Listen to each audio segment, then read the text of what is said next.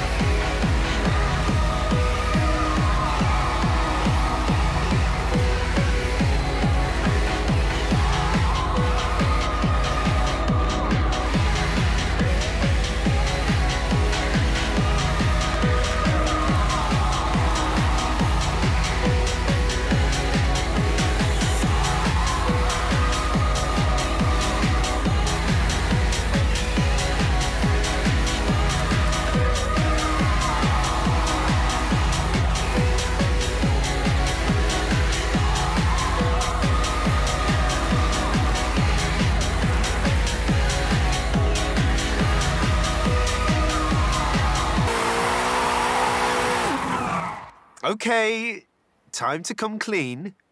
What are you planning? Just a little something we've been working. Well, you can wait a bit longer. You're no good at keeping secrets, Rob. You know that?